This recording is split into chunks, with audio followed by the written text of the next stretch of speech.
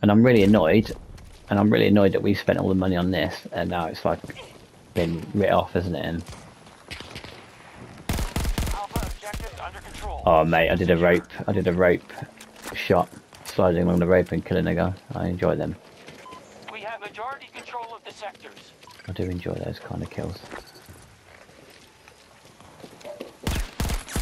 Oh, I got him again.